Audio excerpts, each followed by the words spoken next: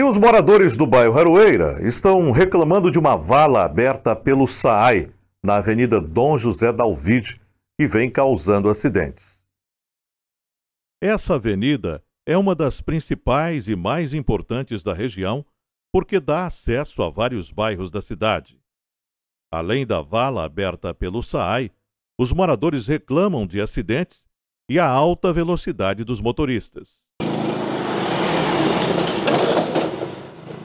Está acontecendo muito acidente aqui, ninguém até agora está tomando providência, não. É moto batendo, bicicleta, muita coisa acontecendo aqui. Cadê a, os, os cabeças para resolver esse negócio aqui? Até agora nada, só prometem, não vem, nada, ninguém está fazendo nada que preste aqui. Vem aqui, bota uma brita, bota um barro, bota uma areia, mas não é assim que funcionam as coisas.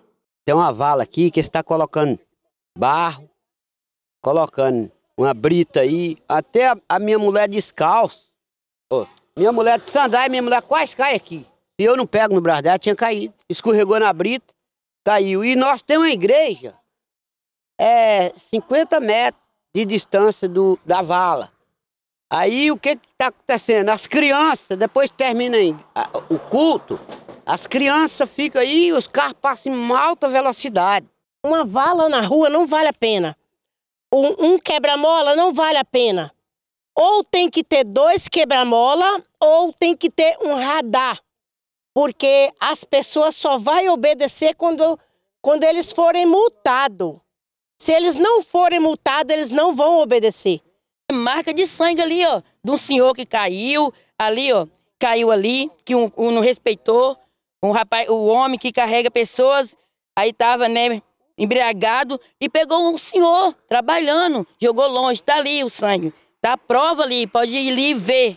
Então, gente, olhe por nós, o prefeito, os vereadores, olhe por nós, coloca alguma coisa aqui para ajudar a turma, nós aqui da Avenida José David. O que acontece? Eles não têm respeito, inclusive nós estamos, eu estou aqui agora fazendo essa entrevista, nós estamos, é, é até bom, porque tá, vocês estão vendo aí, né? As pessoas passando, velocidade, uns passam devagar, outros passam correndo. Então é que nós estamos até correndo risco aqui.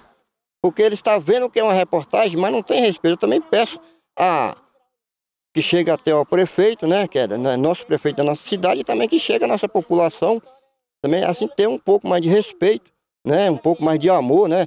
Pelo próximo, que é como a gente é evangélico, a gente aprendeu que nós temos que amar ao próximo como a gente mesmo, né? E Deus sobre todas as coisas. Então que o próximo tenha amor, né? Uns aos outros.